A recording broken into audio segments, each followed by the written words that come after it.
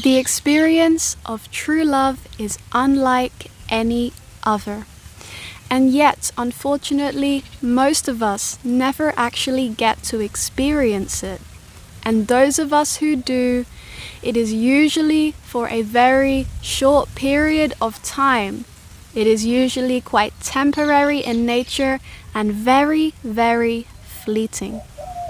The form of love that a healthy married couple is able to experience for one another is extremely sacred. And yet, we are living in a day and age that seeks to actively destroy a stable, healthy marriage, as well as disintegrating traditional families and values. And as the world's population continues to decrease, and as online dating apps continue to be advertised and promoted vigorously in your face everywhere, it becomes clear as to which way our world is really heading. But fortunately, you have free will. And you have the choice and you have the power to choose love in a world full of sin. Firstly, it is absolutely essential for you to become aware of how sin and lust is now advertised in our faces more than ever. More so than the idea of a happy, stable, married couple and a traditional, bonded, united family in love. Many of you, this may be you watching this right now, you seek to reunite and to unite fully with your true love, whether that be a husband or whether that be a wife. And yet, you may find yourself still being quite stuck in lust, perhaps. If this is you, well, let me tell you that your search is futile. You must, must, must remove lust from your mind before you can ever expect to attract and unite with your true love. Prayer and repentance are especially helpful with this. Secondly, you must remain extremely disciplined, whether you are a male or a female like myself. You must be able to maintain healthy routines on a daily basis in order to actually strengthen your divine masculinity or your divine femininity. Now, this is something that is not so widely promoted anymore. Since the degeneration of the population that is currently occurring. It is destroying people's sense of who they really are deep down inside. We are forgetting our divine nature, whether that be as a masculine or a feminine. Forgetting and disconnecting with our sense of God within us, godliness, or as a goddess. For females, Yes, I will cover men after. But for females, because I am a female and you may be too watching this, it becomes absolutely crucial for you to be able to focus on developing your sense of self worth. And not only self worth, but also your sense of confidence and your sense of stability within your mind and within yourself as a whole, spiritually, mentally, and emotionally. Females, I cannot stress this enough. Since we are more prone to emotional upset with all of our hormones that we have going on on a daily basis, then it becomes so important to be able to strengthen our sense of self worth and our sense of emotional stability to be our best version to attract the true love of your life, your husband. Spend time with yourself, ladies, in prayer, to God and in meditation. Write down your feelings. Start journaling. Find an outlet to be able to process your emotions in a healthy way.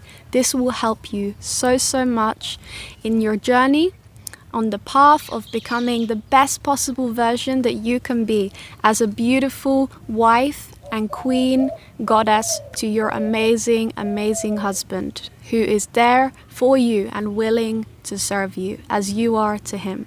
And for men, it is highly recommended, especially as a female and from a female perspective.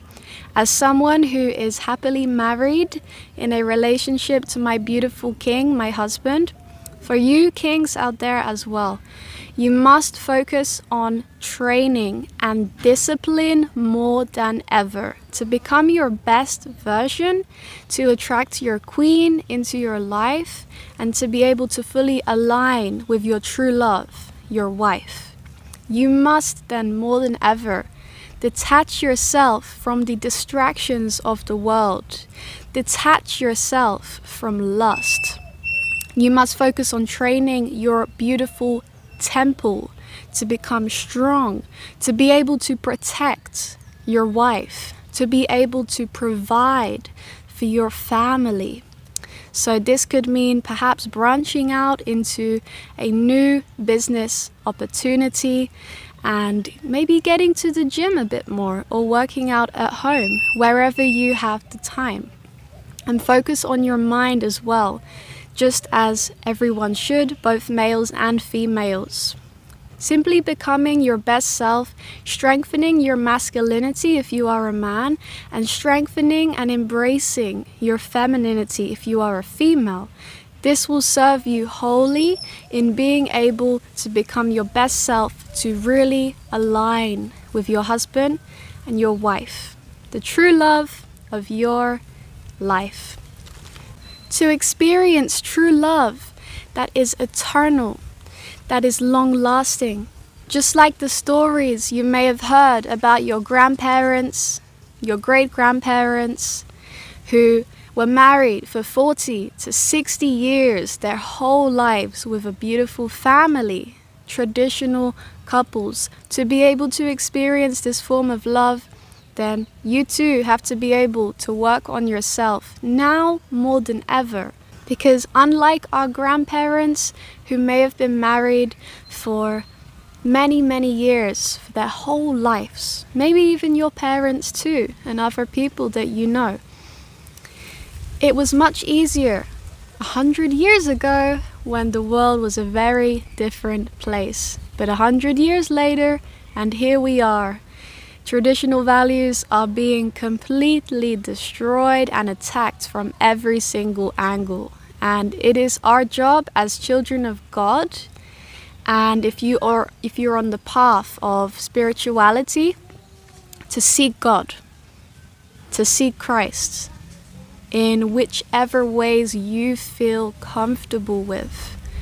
Because as you begin to connect with God, you will align with your best self. Naturally, because everything around us and all of the beauty and all of the love that you could ever experience in your life is thanks to our Creator. It is thanks to Him that we are able to experience that, and it is truly a blessing. So you have to decide from here on now which side do you want to take and which path do you wish to go down, beautiful soul. Do you choose to go down the path of lust, of distraction, and lack of discipline? The path of Satan, the deceiver? Or do you choose to go down the path of love, the path of authenticity, the path of true light, peace, and harmony, that of God our Creator? So, which one do you take? The blue pill or the red pill? Because at the end of the day, we have free will. That's true. When it comes to attracting and aligning with your true love, your wife, or your husband, you must make a decision once and for all because it is going to determine as to whether you are fit enough to be able to open yourself up, open your vessel up, open your heart and your mind up to allowing that level, that deep, deep experience of love and connection to actually come in or not. So it's all up to you. I trust that this has been helpful. If it has, be sure to subscribe if you're new here and turn on the bell icon for more. Comment to share your experiences. Share this video to your loved ones who will also find it helpful as well. And be sure to like, and I will see you very soon. Before I go, I'd like to mention that I have created a post whereby I outline five steps to manifesting your dream life. If you would like to gain access to these steps and to these secrets, which have helped me immensely to find the love of my life, to find my king, my husband, and to be able to create my dream life at my young age, then do check out the link down below in the description or the comment section where you will be able to join our personal Patreon community, gain access to these five steps to help you manifest your dream love, your dream life, and anything else that you wish to. Have a blessed day, have a blessed week, and remember choose love. Amen.